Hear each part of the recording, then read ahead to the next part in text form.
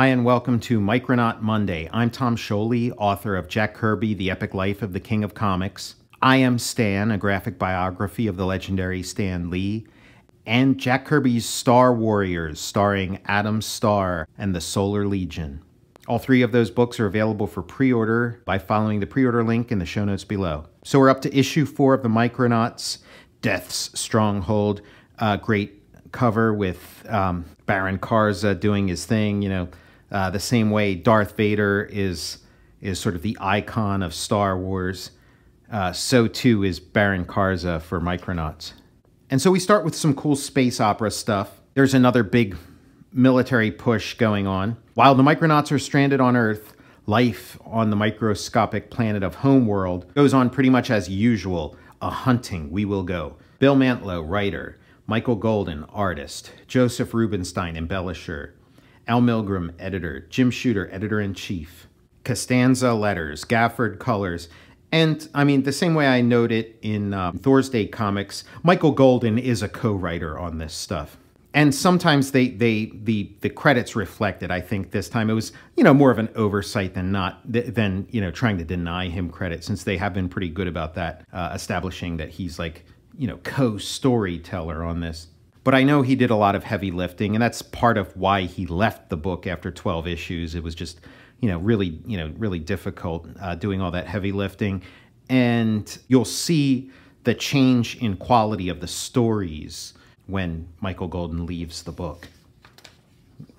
Baron Karza's dog soldiers are are you know doing this roundup. There's there's like a resistance fighters. One one of the rebel one of the royalist rebels uh, is, is a woman named Slug, and they're they're trying to you know capture her in this roundup. We get some of the toys. I think these are called the Phobos units. Um, they were basically like a Robotron toy with a different head. This is from the toys also, and uh, and then they have this like sort of scooper that like scoops people up and Slug is disguising herself. We're deep underground. We're starting deep underground homeworld and going up higher and higher to the surface. Reaching ever higher, the ramps become highways. The towers of the rich pierce the azure sky. This then is homeworld, a planet where no blade of grass, no tree, no flower grows. A world of cold steel and cold-blooded murder and yet there is warmth to be found in the raging atomic fires of the pit that powers the infernal machinery of that stronghold of death, the body banks. So here's, you know, some more borrowing from Jack Kirby's Fourth World. I think of uh, Micronauts as, as Jack Kirby's Fourth World in miniature, and so they have you know, fire pits or at least one fire pit on this sort of you know, desolate world that's just like covered with machinery and great shot of Baron Karza. Again, you know, so much fun to draw. And Baron Karza shoots off his hand, which is something the toy can do. You press this little button and the hand shoots off. And, you know, strangles him from afar. The thing that, uh, you know, Darth Vader does uh, leaves him dead and it pops back on. Look at this. I mean, that is a pretty cool, ominous drawing. You know, Michael Golden just showing what he can do.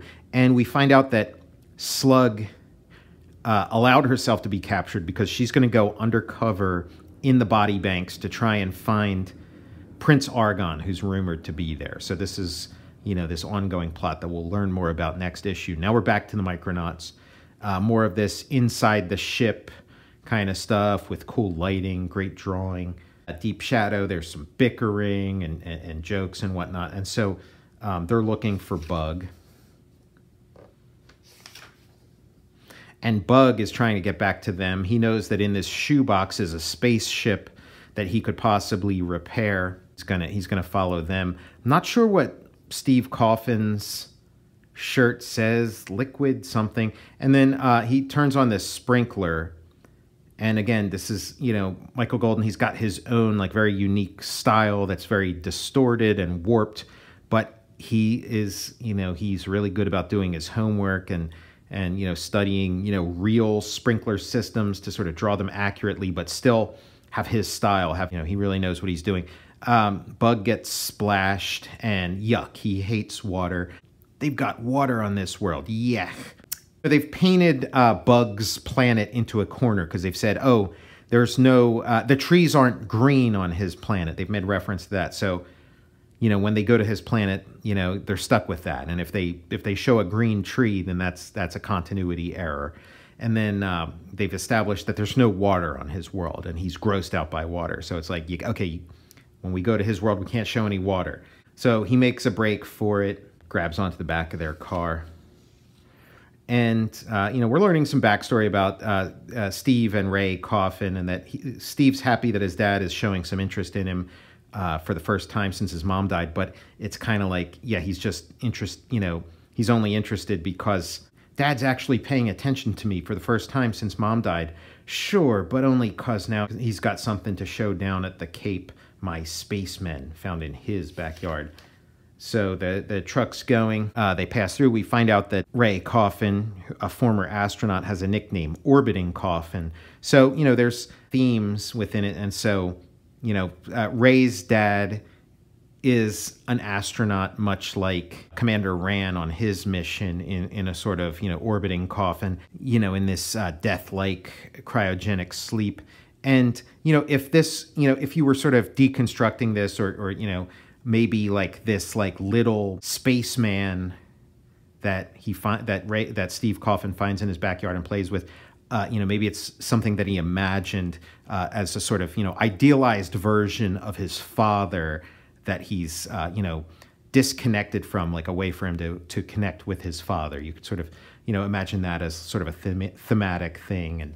From the parking area, only the facade of the vast scientific complex is visible. The legend on the main building reads Human Engineering Life Laboratories. It was only after it was named that someone realized its acronym was HELL. There's Bug hitching a ride. They're going in, there's a lot of security. Ah, yes, aliens. Wasn't it a close encounter, I think you said? I suppose the current Hollywood fare is responsible for this latest imaginative outbreak of, Dad didn't believe me either, Professor, till I showed him this. Oh my, you have got something there, haven't you? This is Philip Prometheus, who, who runs Human Engineering Life Laboratories. We'll see more of him next issue. And yeah, the Micronauts, it's a lot of sort of chasing back and forth. So Bug is trying to find the rest of the Micronauts in their spaceship. They're trying to find Bug, so they go back to where they last saw him at the Coffin residence, but he's left. So, you know, it sort of, you know, delays this sort of chase, this sort of, you know, cat and mouse. Again, great, great drawings, great lighting inside the spaceship, sort of flying around. And more of this sort of, you know, Marvel kind of stuff of, of, you know, the average guy's view on everything. I heard tell of Florida mosquitoes, but this and another sighting is chalked up to too many pina coladas. So they're sort of bouncing around in the garage. They smack against one of the walls and crash. So now, you know, they're gonna have to spend the next issue uh, repairing their ship. You know, again, these are these are ways as like sort of the the other parts of the plot are unfolding and going forward. You know, this sort of gives the Micronauts something to do. Shaitan and his crew, you know, fly back. We saw them, you know, warp away in the previous issue. We're home. In disgrace, two battle cruisers destroyed by my brother Acroyear and his cursed companions. Baron Karza will not be pleased. I am not pleased, Prince of the Acroyears. Karza, then you know. Everything. I hereby sever our alliance. You are useless to me. And the thought wash I used on your people so that they would think your brother, the true prince, dead, is herewith removed. No, the Acroyears revere my brother. If they learn that I betrayed him, they will destroy me. Shaitan fucked up. Baron Karza has a zero tolerance policy and, and cuts him off. And, and so Shaitan is, you know, no longer part of uh, Baron Karza's army. And so uh, it's a pretty cool development. I, I like I like all the palace intrigue and stuff. And and it it plays out really well in the later issues. So now they got this little. Uh, all right, the Endeavor's dry docked, but we still have enough auxiliary power in the exploratory Astro Station to begin our search for Bug. Biotron will stay here to effect repairs, and watch for any sign of pursuit from the microverse. Um, they're flying around in this. This is, you know, the, the HMS Endeavour is not a, a, toy that, that was, you know, sold as, as part of the Micronauts line, but this Astro Station is. So, you know, a little bit of a little bit of product placement here. So they're going to be tooling around in this, uh, you know, next issue.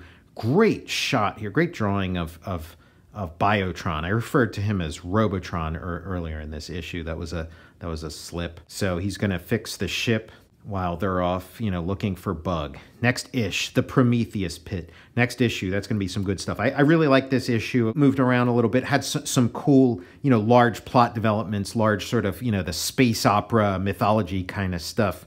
Uh, a lot going on there in this issue, and then you know a little bit of uh, ins and outs with the Micronauts, and then and then setting up you know H E L L nicely, which is going to really pay off next issue each issue, you know, the mystery deepens, gets more and more intriguing, and uh, next issue really turns a corner where it's like, ooh, you know what? I think this might be my favorite comic, um, and we get this we get this really nice schematic of the HMS Endeavour with you know all the little ins and outs of what's going on. There's the scale in comparison to Commander Rann. Lots of verbiage. Another marvelous Micronauts pinup page, the homeworld microship Endeavour the first faster than light microship to be developed on the subatomic planet Homeworld. Its purpose to explore the microverse.